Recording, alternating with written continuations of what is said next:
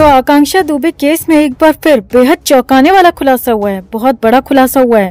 और ये खुलासा किसी और ने नहीं, बल्कि मधु दुबे के वकील शशांक शेखर त्रिपाठी ने किया है। जी हाँ इस खुलासे के बाद ये साबित हो गया है कि समर सिंह ने वाकई आकांक्षा के साथ मारपीट की थी, बर्बरता की थी। जी हाँ बिल्कुल सही सुन रहे हैं आप। और अगली सुनवाई में शशांक शेखर त्रिपाठी इस बात का सबूत भी कोर्ट में रखने वाले हैं, जिसके बाद पापी समर सिंह का बचना नामुमकिन है और उस पर धारा 302 लगना तय माना जा रहा है। तो आखिर कैसे सामने आया ये सबूत कि समर सिंह ने आकांक्षा के साथ मारपीट की थी? और इस सबूत को कोर्ट के सामने रखने के बाद कितनी बड़ी मुश्किल में फंस जाएगा समर सिंह? और कैसे लगेगी उस पर धारा 302 आपको बताते हैं, दिखाते हैं सब। आप भी आकांक्षा के इंसाफ के लिए इस खबर को ज़्यादा से ज़्यादा लाइक और शेयर कर अपना प्यारा सपोर्ट दिखाएँ और कमेंट में जस्टिस फॉर आकांक्षा ज़रूर लिखें। चैनल के साथ जुड़कर चैनल को सब्सक्राइब कर, इस मुहिम का हिस्सा बने, हमारी ताकत बने। तो आकांक्षा को गए दो महीने से ज़्यादा का वक्त बीत चुका है, मगर पुलिस जिस ढिलाई से इस केस में काम कर रही है, वो बेहद निंदनीय है, अमानवीय है। एक माँ जिसने अपनी जवान बेटी को खो दिया, वो दर दर की ठोकरें खा रही है, इंसाफ की गुहार लगा रही है, मगर पुलिस और प्रशासन पर इसका कोई असर होता दिख नहीं रहा। वहीं दूसरी तरफ़ समर सिंह के खिलाफ हर रोज ही कोई न कोई नया सबूत सामने आ रहा है। आकांक्षा का केस मज़बूत होता जा रहा है, बावजूद इसके कोर्ट भी बस तारीख पर तारीख दे रहा है, समर सिंह को सजा न जाने कब मिल पाएगी। लेकिन सुशांत के इंसाफ की तरह आकांक्षा के इंसाफ के लिए भी फैंस डटे हुए हैं, लगातार आवाज़ उठा रहे हैं। वहीं आकांक्षा दुबे की माँ मधु दुबे के वकील भी पूरी शिद्दत के साथ ये केस लड़ रहे हैं और अब उन्होंने एक और बहुत बड़ा सबूत जुटा लिया है और उनका दावा है कि इस सबूत को कोर्ट के सामने रखने पर कोर्ट भी मजबूर हो जाएगा समर सिंह की जमानत खारिज करने को और पुलिस पर डंडा चलाने को कि जल्द से जल्द इस मामले की चार्जशीट दाखिल की जाए ताकि केस पर ट्रायल शुरू हो सके, आरोप तय हो सके और समर सिंह के गुनाहों की सजा निर्धारित हो सके। तो ऐसे में इस बार जो सबूत हाथ लगा है, उसके बाद ये तय माना जा रहा है की समर सिंह पर धारा 302 लगकर ही रहेगी। जी हाँ आकांक्षा दुबे के वकील शशांक शेखर त्रिपाठी ने बताया है कि आकांक्षा की पीएम रिपोर्ट और विसरा रिपोर्ट अभी तक सामने नहीं आई। लेकिन उनके पास इस बात के पक्के सबूत हैं कि आकांक्षा की बॉडी पर चोट के निशान थे। उसकी गर्दन और पीठ पर चोट के निशान थे, जिसका ज़िक्र पीएम रिपोर्ट में कहीं भी नहीं किया गया। लेकिन उनके पास इस बात के पक्के सबूत हैं जो वो कोर्ट में रखेंगी। इसके साथ ही आकांक्षा की वो तस्वीर भी बहुत बड़ा सबूत है, जिसमें उसके चेहरे पर चोट के निशान साफ़ देखे जा सकते हैं। उसके साथ हुई बर्बरता साफ़ देखी जा सकती है।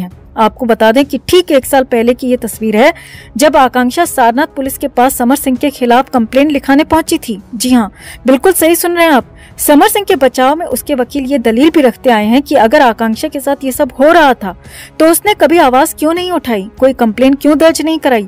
तो इस बात का सबूत भी अब शशांक शेखर त्रिपाठी के पास आ गया है, जिससे साबित होता है कि आकांक्षा ने इस मारपीट के बाद सारनाथ पुलिस में समर सिंह के खिलाफ एफआईआर करवाई थी। मगर सारनाथ पुलिस ने न तो तभी कुछ किया और न ही अब इतना सब होने के बाद ही आकांक्षा के चले जाने के बाद भी कुछ कर रही है। तो इस बार शशांक शेखर त्रिपाठी ये सारे सबूत भी कोर्ट में रखने वाले हैं जिसके बाद तय माना जा रहा है कि समर सिंह पर धारा 302 लगकर ही रहेगी, क्योंकि ये सबूत पुख्ता तौर पर साबित करने के लिए पर्याप्त हैं कि समर सिंह आकांक्षा के साथ मारपीट करता था कि मधु दुबे के आरोप गलत नहीं है।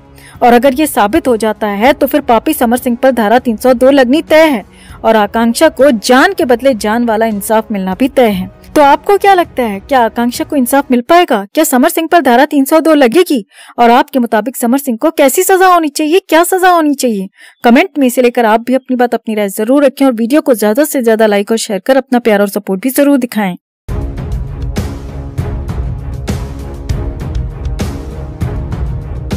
तो आकांक्षा केस में एक बार फिर बहुत बड़ा अपडेट निकल कर आ रहा है। आकांक्षा केस में दो लोग ऐसे सामने आए हैं जो उस वक्त होटल में मौजूद थे और जिन्होंने अपनी आँखों से बहुत कुछ देख लिया था। आकांक्षा के साथ होने वाली साजिश की प्लानिंग भी।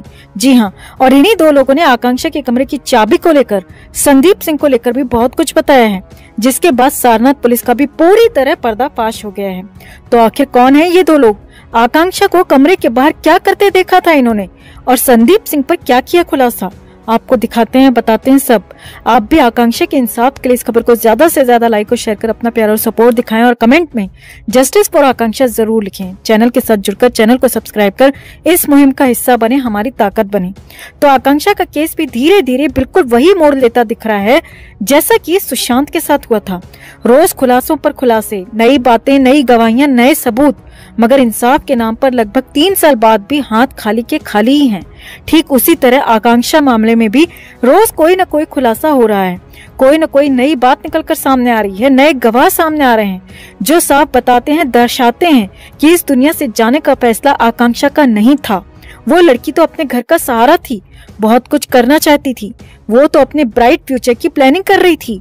मगर तब भी उसके साथ हुई साजिश को भी वही नाम दिया गया, जो कि सुशांत या जिया खान के साथ किया गया। और जिस तरह उन दोनों केसेस के आरोपी बरी होकर मज़े से अपनी ज़िंदगी जी रहे हैं, हमें डर है कि आकांक्षा के साथ भी वैसा ही न हो। हालाँकि फैंस जिस शिद्दत से उनके लिए खड़े थे, इंसाफ की मांग कर रहे थे, उसी तरह आकांक्षा के लिए भी डटे हुए हैं। मगर पुलिस जिस तरह से ये केस हैंडल कर रही है, उससे लगता नहीं कि वो सचमुच आरोपियों को सजा दिलाना चाहती है। अब इसी कड़ी में आकांक्षा केस में होटल स्टाफ के दो लोग रितेश और राजन सामने आए हैं, जिन्होंने आकांक्षा के होटल वाले सीसीटीवी फुटेज पर बहुत बड़ा खुलासा किया है। जी हाँ इन दोनों का कहना है कि आकांक्षा मैडम जब रात को पार्टी के बाद संदीप सिंह के साथ होटल पहुँची थी तो तब उनके कमरे की चाबी उनके पास नहीं थी। इसीलिए वो पहले कमरा नंबर 103 के पास रुककर बैग में कुछ ढूंढती नज़र आ रही थी। और फिर वो कमरा नंबर 104 में जाकर नॉक करती हैं, जहाँ उनकी मेकअप आर्टिस्ट रेखा रुकी हुई थी। नॉक करने पर दरवाज़ा जरा सा खुलता है। मैडम हाथ अंदर करती हैं, चाबी लेती हैं। वो लड़का चाबी मैडम के हाथ से ले लेता है। 105 नंबर का दरवाज़ा खुलता है और दोनों अंदर चले जाते हैं।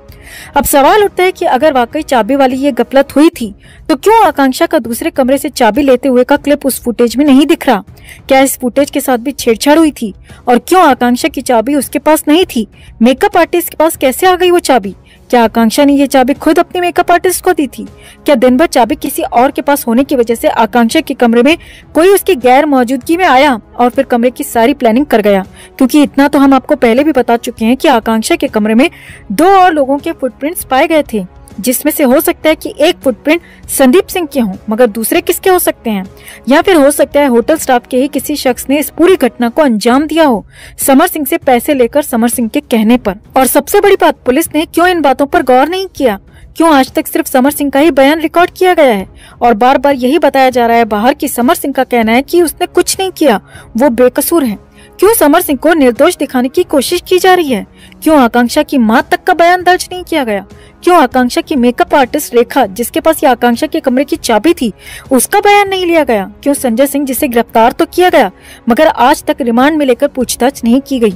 क्यों संदीप सिंह, अनुराधा सिंह और पार्टी के होस्ट अरुण श्रद्धा का बयान नहीं लिया गया? क्या पुलिस इस केस में इंतज़ार कर रही है कि धीरे धीरे मामला शांत हो और हम चुपचाप आकांक्षा के केस की फ़ाइल भी बंद कर दें? क्या आकांक्षा को भी कभी इंसाफ नहीं मिल पाएगा? आपको क्या लगता है दोस्तों? कमेंट में से लेकर आप भी अपनी बात अपनी राय ज़रूर रखें और इस वीडियो को ज़्यादा से ज़्यादा लाइक और शेयर कर अपना प्यार और सपोर्ट भी ज़रूर दिखाएँ।